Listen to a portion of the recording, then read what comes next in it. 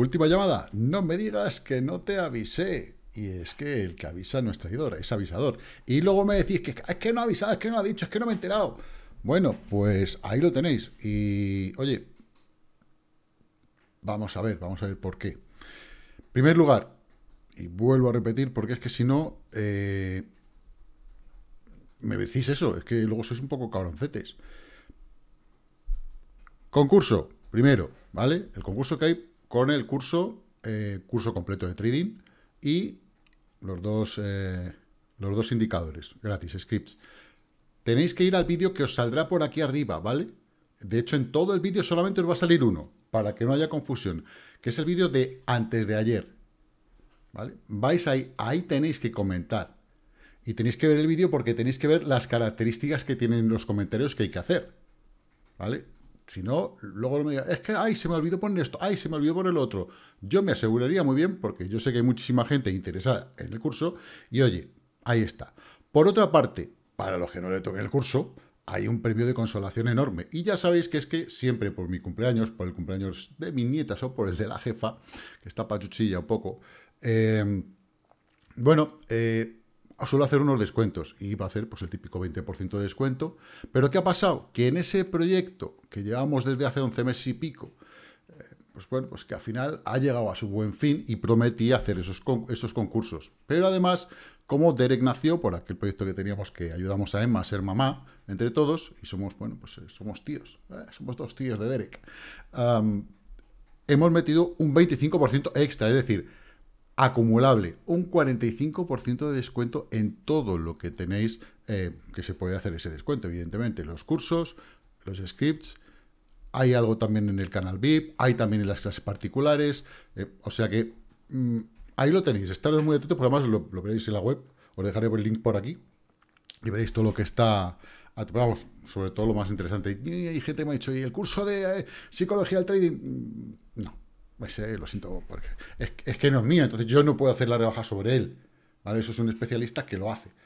Eh, que además está preparando algo genial y ya os digo que dentro de poco vamos a tener otro webinar en el que le vamos a preguntar cosas. Podéis, podéis eh, poner en comentarios de este vídeo, ¿vale? Cosas que le queréis preguntar al profe de, de psicología del trading pero, eh, bueno, eso como lo vamos a ver para la semana que viene, eh, lo podéis ir poniendo y yo los voy a ir anotando todas, para que en ese webinar pues, le pueda hacer esas, esas preguntas.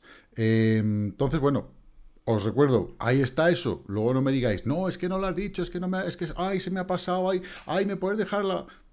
Está en oferta, todo eso aparte va a estar en oferta de aquí a final de mes, así que bueno, ahí os lo dejo. En fin, decía Albert Einstein, que hablar de crisis es promoverla y callar en la crisis es exaltar el conformismo. ¿Y dónde está el término medio? Si yo hablo de la crisis, la promuevo, porque la gente, eh, claro, se contagia ¿no? de, eso. Y, si me callo, es que estoy, bueno, pues siendo conformista y que no estoy avisando y que... Eh, era un poco cabroncete Einstein, porque te, te deja ahí en ese... ¿Cómo mides? ¿Cómo mides? Pues yo, por ejemplo, avisando, luego me dice, es que no os he avisado de esto. Entonces yo, cuando hablo, por ejemplo, de la crisis que hay y tal, procuro ser mm, un poquito cauto. ¿Por qué? Porque ya sabéis que, eh, y más en el mundo de YouTube, pues hay gente que vende mucho de un lado y vende exageradamente de otro lado. Entonces, bueno, si efectivamente creo que hay que encontrar con el sentido común un término medio que sea, mm, bueno, pues más, más mm, realista. Que sé que ahí a la gente no le gusta que yo sea realista y que le gusta más que le canten en la oreja. Bueno, eso va en función de cada uno. Pero lo más importante de todo esto es que tú puedas tomar tus propias conclusiones por ti mismo y al final eso es lo que más valor tiene, porque cuando vas a hacer una operación de compra, de venta, de, futuros, de spot, da igual, eres tú quien está y la única persona que está delante del ordenador o delante del teléfono móvil para hacer esa compra eres tú. Por cierto, mi recomendación es no utilizar el teléfono móvil para esas cosas. Pero bueno, allá cada uno. En fin, Chicos, poco más, poco más que Venga, vamos a comenzar, que está la cosa calentita y os quiero comentar un par de cositas sobre Bitcoin. Venga, vamos allá.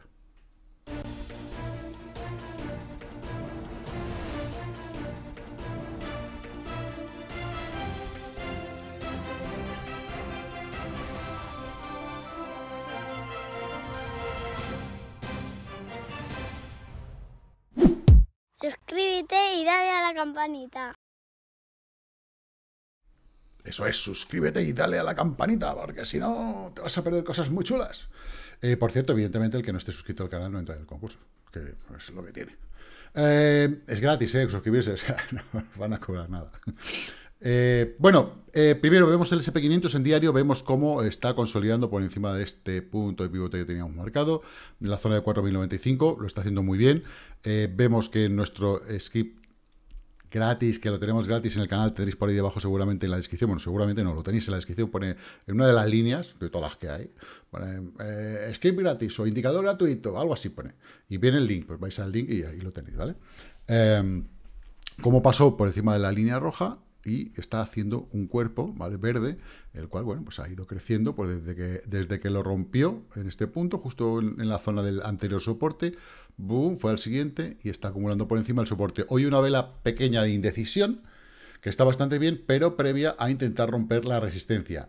Intentar romper, vamos a ir pasándolo, porque claro, de momento, pues es un punto que fue un soporte importante, se perdió, se retesteó. Aquí, bueno, una buena pequeña pasada, pero la media de 200 nos pegó una bofetada de realidad. Intentamos atacarla una vez, dos veces, y estamos en la tercera. ¿A la tercera será la vencida? Bueno, vamos a ver. Vamos a ver. De momento, después de esta, ya tuvimos que ir un poquito más abajo y generar una línea de tendencia un poquito diferente. Y bueno, pues eso nos puede llevar a un triángulo un poquito más largo y al final, ya sabéis, ¿no? Si yo salto sobre la tabla, boom, boom, boom, boom, voy dando golpes, al final la rompo. Evidentemente, eh, digo salto porque suelo verlo invertido. Si vosotros os venís aquí y decís invertir escala, pues lo podéis ver al revés. Y veis cómo pega un bote, pega dos botes, pega tres botes, pega cuatro botes, pega cinco botes y al final, pues bueno, si, si nos dice tenemos mínimos, más, perdón, máximos descendentes y mínimos en la misma zona, esto al final rompe abajo. Como norma general, no siempre, pero como norma general. Pero, entonces, ¿qué quiere decir? Que si lo veo al revés, ¿vale? Lo veo, lo veo tal y como está. Venga. Vemos que tenemos mínimos ascendentes, 1, 2, 3, y máximos en la misma zona, bueno, pues al final vamos a romperlos. Es lo normal. Veremos a ver luego, porque luego vienen las sorpresas del mercado de repente decimos, ay Dios mío, ¿qué ha pasado? Esto en cuanto al SP500. Evidentemente no del SP500 vive el hombre, pero claro, es que es el indicador o digamos ese índice principal en el cual podemos ver cómo está un poquito Ah, no la economía, pero sí los mercados. Esto aplicado a Bitcoin, bueno, pues eh, no está nada mal. Bueno, esto es Bitcoin ahora, vamos a, ver las velas de diario, en primer lugar, que creo que es eh, interesante, desde que pasamos la Rose Line, ¿vale? Que fue una resistencia importante a lo largo de todo este, no, bueno, no solamente a lo largo de todo este tiempo, es decir, desde que se produjo su primer apoyo con su pérdida, la tenemos marcada desde julio del 21, ¿vale? Pero bueno, eh, al final volvemos a tocar y, joder, lo, cachondo de todo esto es que a la primera, como quien dice, un toque, un oh, poquitito de tontería, la rotura. O sea, ha sido, ha sido muy, muy rápida, ha sido muy bueno, con, potencia. Ahora la cuestión es que tenemos otro TP2 para, por aquí, por arriba, ¿vale? Y a mí yo, ¿qué queréis que os diga? Yo a mí lo que veo y lo que me gustaría y lo que creo que sería ideal es que viniéramos a apoyarnos otra vez a la zona en la que hemos estado tanto tiempo acumulando o muy cerca de ella para poder rebotar. Eh, si no, todo esto puede quedarse en aguas de borraja. Todavía queda tiempo, evidentemente, porque creo que esta cripto todavía le queda, le queda margen. Eh, ¿Cuánto llevamos de subida desde que iniciamos? Yo no cuento desde este mínimo, yo cuento desde este punto, el punto de arranque. ¿vale? Entonces, eh, hemos llegado a un máximo de recuperación del 87%. Vale, ¿cuánto nos recuperamos la cripto primavera anterior? Porque, bueno, pues al final, si vemos eh, cómo se comportó anteriormente, no es una garantía de cómo se va a comportar ahora, pero bueno, entonces yo qué miro desde el punto de arranque. Desde el punto de arranque yo miro, ¿y cuántos, cuánto fue hasta el máximo? ¡Wow! Una barbaridad, un 250%. Yo, igual que cada, cada ciclo, evidentemente, el máximo sobre el anterior, ese porcentaje se va reduciendo, pues entiendo también que la criptoprimavera sobre el porcentaje anterior se va a ir reduciendo. Entonces yo le hago otro tipo de cálculos. ¿vale? Para mí, y tal y como he, he realizado esos cálculos, creo que la zona del TP2 de los 35 máximo puede ser lo que son esta zona de apoyo que hay aquí más o menos. ¿Que nos podríamos ir al punto de pivote que hay? 41, podría ser ¿Que nos podríamos ir al 48? ya lo veo un poco más complicado, ¿vale? Había alguien, ah, me comentaba, contaba 55. No sé de dónde sale un punto de, 55, pero bueno, a lo mejor en semanal hay alguno, no lo sé, pero yo no lo veo. O sea, si vamos a semanal, a lo mejor me, me equivoco, ¿no? Pero si vamos a semanal, pues vemos cierres en 47, eh, vemos aquí otro en 52, pero en 55 no hay ninguno. Eh, por otra parte, sí que tenemos una zona de resistencia importantísima aquí, en todo esta, que es fijaos en semanal, 36, eh, en 37, es, complicado, ¿vale? Y pasar de este punto aquí también que tenemos en 31 y medio, justo, más o menos la zona en la que estamos peleando ahora es difícil. Viene la media de 100, que viene hacia abajo. Otras veces, cuando la media de 100 viene hacia abajo, ay, aquí no tengo historial suficiente, y menos en semanal. ¿Vale? Pero sí, lo, sí que lo tengo aquí para que lo veamos por curiosidad, creo que es importante. Ah, a ver, en Bitfinex no. En Bitstamp. ¿Vale? La media de 100.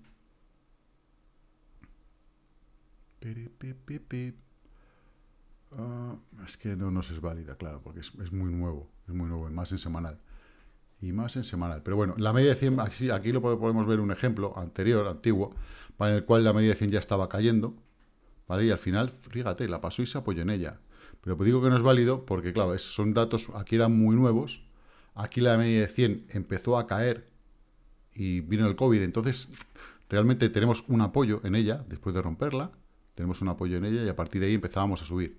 Y ahora puede ser que la rompamos, tengamos un apoyo en ella y si volvamos a subir, podría ser perfectamente. O sea que es Bitcoin, ya sabemos cómo se las gasta, pero toda esta zona de resistencia que hay en semanal a mí me parece harto complicada. Em, viene aquí la media de 100 también a darnos una, un aviso, un aviso. Y si contamos con que cada ciclo los porcentajes cambian, no contábamos con que nunca había pasado, que, habíamos, que se perdiese la media de 200 en semanal de esta manera.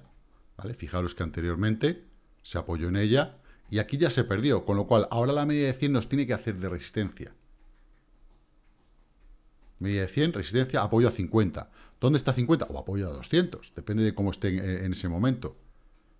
¿Qué mínimo que la EMA 20? ¿no? Pero bueno, semanalmente, ¿cómo se ha comportado en el cripto invierno anterior? Ir a zona de ruptura, zona de 70, 71, ¿vale? Que todavía nos queda margen, por eso digo que todavía hay tiempo para, algo más, más potente, más arriba. Que para mí son la zona de 35, quizás esta zona de 37 que tenemos aquí antigua, pero no sé por qué la tengo ahí. Ah, bueno, porque es un apoyo aquí, ¿vale? Más allá de eso, yo lo veo bastante complicado, ¿vale? ¿Que puede hacer un diente de sierra y irnos más arriba? Por supuesto. Por supuesto. No digo que no. Pero de momento prefiero andar con cautela. ¿Vale? Bien, eh, esto en cuanto a lo positivo, claro. En cuanto a lo negativo, ¿qué pasa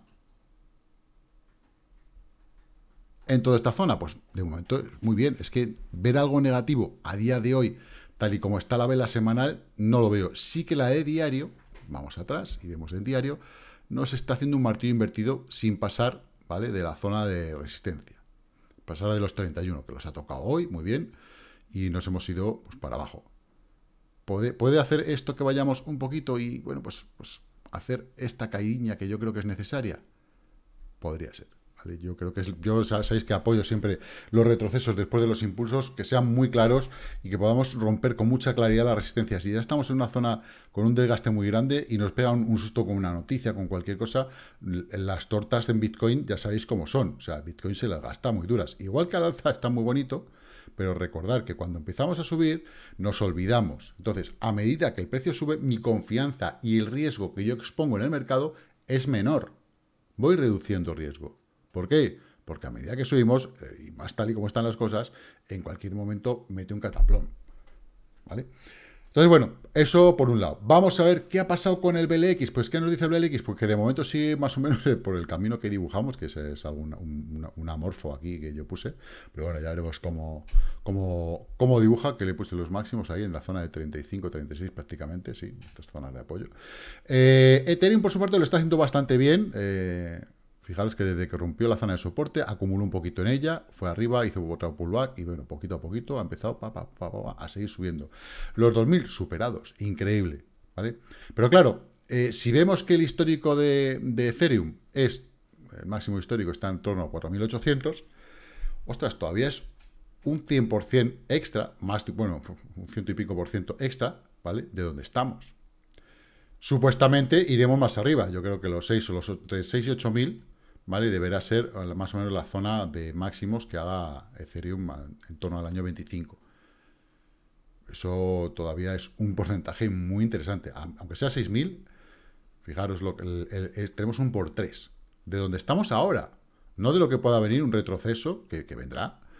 Eh, y oye, vamos a ver si esta zona que tenemos aquí, en la zona de 1700, es una muy buena zona para recomprar. Oye, que rompe más abajo, fantástico. Yo no lo sé. Como no lo sé, de momento con lo que cuento son zonas de soporte. Si yo esta resistencia, que fue soporte, soporte, soporte, resistencia, resistencia, resistencia durante mucho tiempo, la hemos roto, ahora mismo es el soporte y es el primer soporte. Hay gente que dice, ah, se va a ir a 800, a 900 pavos otra vez. Oye, felicidades, ojalá, ojalá. Pero de momento la realidad es que donde estáis en 2000 y que la realidad es que tiene un 15%, ¿no? Es un 15% de retroceso, en este caso, más o menos, 18, bueno, ahí, o 15, eh, va a tener la razón, eh, de retroceso posible, ¿vale? De momento. Ya sabemos que un 15 es poco, y más en cripto, en un mercado tan volátil, pero bueno, de momento es donde está, y esa es la realidad. Y que para irnos a 900, primero tenemos que pasar por los 1700, tenemos que pasar por un punto de pivote en 1400, y tenemos que pasar por este otro mínimo en 1200 aproximadamente. O sea que no nos hagamos puzzles, ¿vale? Eh, por otra parte, Total Market ha subido, ahora está retrocediendo un poquito, y la dominancia de Bitcoin ha bajado y ha bajado bastante. Dentro de toda esta zona, fijaros, a donde fue resistencia, resistencia, resistencia, viene y de momento, de momento, se apoya. Si la pierde y pierde este mínimo, ya sabemos que vamos a tierra de nadie, a, bueno, pues a, perdernos. El dólar index rebotando, ¿vale? Pues hoy era normal, de una zona que tenía interesante, pues eh, lógico, pues que desde la zona de rebote, ya veremos a ver luego cómo quiere hacerlo. Y las altcoins, bueno, pues se han portado bastante bien, tenemos cosas bastante interesantes. Eh, fijaros, los library case, bueno, Gala Games hoy está rebotando poca leche. Pero bueno, está dentro de la figura que, buscamos. Tiene que romper esta línea verde que tenemos ahí marcados en los 0,045 para intentar ir a este máximo relativo anterior que tiene 0,058, más o menos, ¿vale?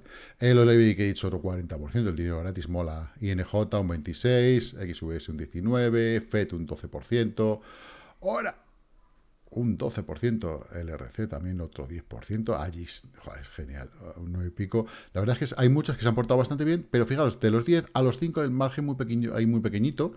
Eh, entonces, bueno, eh, está, bien, está bien porque eh, van acumulando poquitos y eso, eso consolida. Está estamos en una zona de consolidación general, ¿veis? Como, como marcamos aquí en Gala Games, pues en general tenemos zonas de consolidación En este caso, por ejemplo, eh, no. El caso de Ceres pues, intentó hacer un rebote y ahora está intentando abrazar esa zona, a lo mejor consolida y empieza a ir hacia arriba. Vamos a ir bien, hay que, hay que vigilarlas, ¿vale? Depende de la cual sea vuestra preferida. GRT tiene un, ya un, esquema más parecido, ¿vale? En la cual, bueno, pues está consolidando en toda esta zona para intentar atacar esos máximos otra vez. Eh, Kusama, bueno, aunque aquí sea contra el euro, este es cuarta lo mismo, está igual en una zona de consolidación para intentar atacar esos máximos relativos que hubo anteriormente. Eh, Atom, ¿vale? Volvemos a ver, zona de consolidación y ahora está al alza para intentar ir a por los máximos que tenía anteriores. O sea que, en general, las altcoins lo están haciendo bastante, bastante bien. Ripple, por su parte, un 3,5% que sube hoy, está igual, ¿veis? Esta zona de consolidación, a ver si consolidáis y es capaz de ir a por esos máximos relativos anteriores, ¿vale? Eh, esto, hostia, esto es Proton, esto es XPR, no es XRP, joder. Ay, qué rabia me da. No pasa nada. Ahora lo busco. Los Axis. ¡Ay, mira los Axis! Los muñequitos. Qué, buen, qué buenas cosas nos dieron. ¿Veis? Exactamente igual, ¿vale? Consolidación a intentar ir por los máximos anteriores.